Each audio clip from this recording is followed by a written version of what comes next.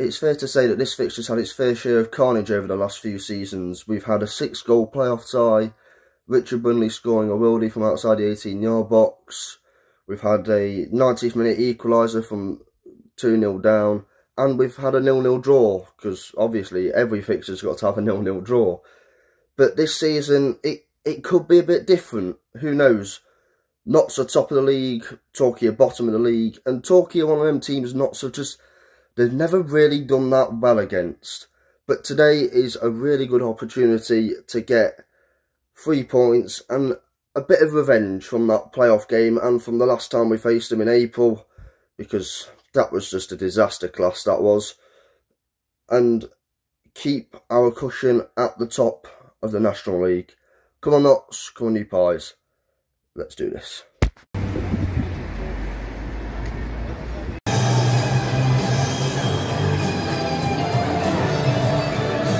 In the last five games, Notts have won the last five, talking through two and lost three of the last five. That does not mean we need to, uh, we can take our foot off the pedal because we need to be on it every single game, no matter who the opposition are.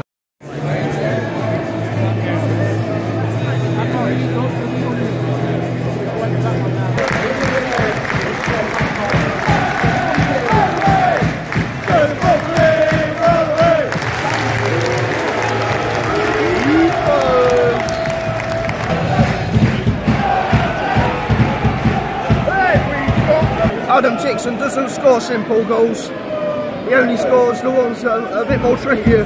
But yeah, early on, Torquay been pressing us well. Too many passes where we've we're putting our own players in danger of um, being dispossessed. This is a perfect place.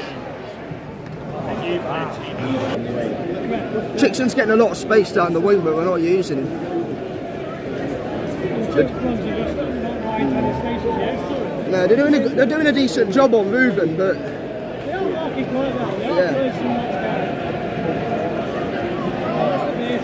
yeah, yeah. They have frustrated us so far, Torquay, but we're not unlocking them. We're not we're not moving the ball quick enough at the minute, and it's really frustrating. I apologise as well.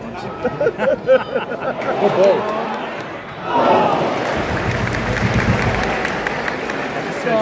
Get it in.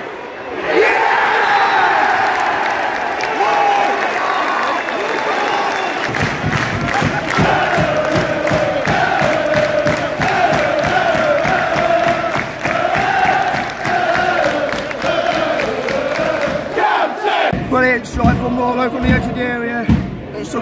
Just over 20 minutes to break down, but we've got there eventually. And it's kind of a, a Wrexham esque free kick. You know the one we went against Wrexham? Yeah, it's kind of like that. Just need to keep going for more now. Ruben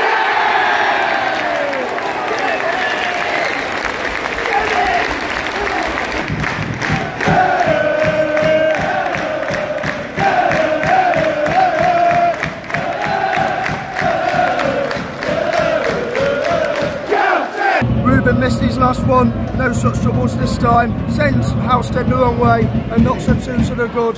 We've got better as the game's gone on now. We really have. We're starting to move the ball a bit quicker.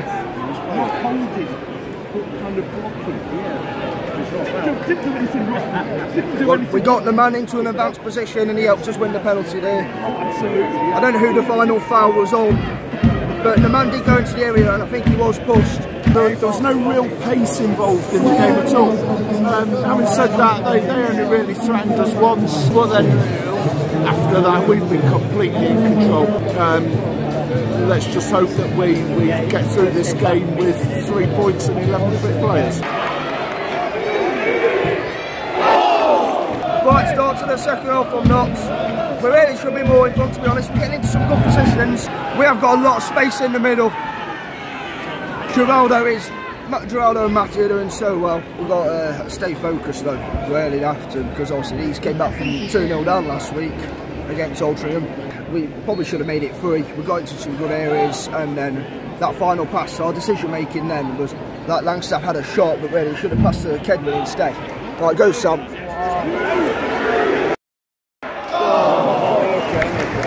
We're overplaying it in the final third. We could have had so many more, but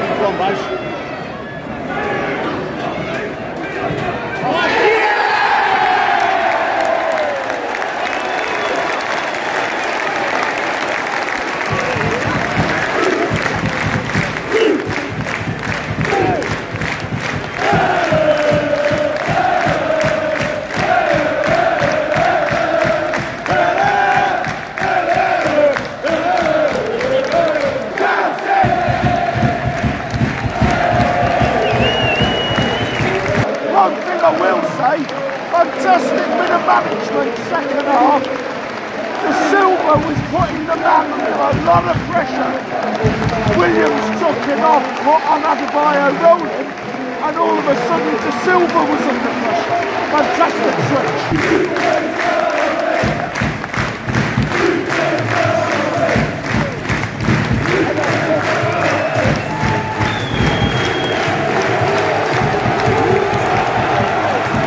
Castro strike. He looks so much better when he's further forward. Yeah, He can run onto stuff. yeah. You can't you can't play Castro deeper because No. he- he's, he's not deep. he's not suited to it. No, he doesn't like he, he doesn't like having too much of the ball. He likes it out in front of him. We didn't really get out of first gear really, as you can tell. We were two 0 up for quite a, a while. The two late goals added the gloss. Palmer and Bajrami. Good battle between Nemane and De Silva as well down that down down the wing. I thought the back three were really good. They helped us. And Baldwin, to see him back from injury. Uh, successful return for him. To see his passion at full time as well. Kyle Cameron was trying for that goal so hard. You could tell he was really like he was in the penalty area in like the 90th minute trying to get a goal. So as is becoming customary now on this channel, we do the outros the day after. Well, this time it's because I went out into knots after the game.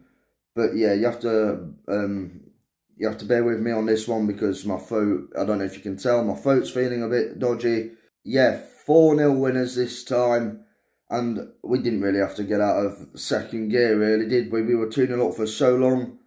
And it, we could have had more in the second half to add to it, but we eventually we eventually did so near the end of the game. We added some gloss to the scoreline, which it it deserved in the end because we did have the chances to make it more than two before before Castro had even scored his goal to make it three, and Bajrami scored to make it four. In the past few years, not so struggled to break down opposition who play in a low block, and that's been frustrating for us. But once again, like Maidstone, we built up patiently and then we got our wing backs into more advanced positions as the half went on.